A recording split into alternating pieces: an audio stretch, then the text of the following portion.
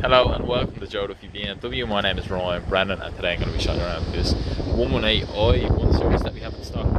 So we've got a 1.5 petrol, we've got the sport edition here, so we've got chrome kidney grille surrounds, black inserts, you can see our BMW LED headlights in there.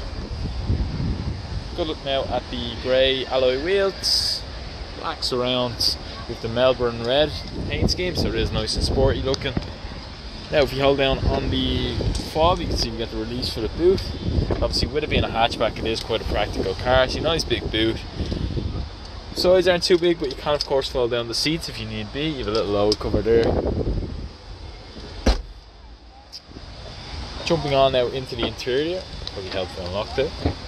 You can see we have half and half material, so we've half leather and then we have the half fabric on the ins inside. We've got our Isofix anchor points, USB-C charging ports back here. A little bit of cubby space on the seat backs and in the doors there. Jumping into the driver's seat now. As you can see, you have the controls for all the windows. We have our BMW steering wheel, cruise control on the left. We have our digital driver's display up there.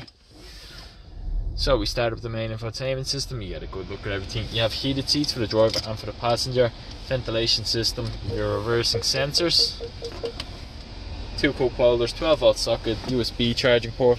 You do also have USB-C charging down there and a good look now at the actual seats themselves.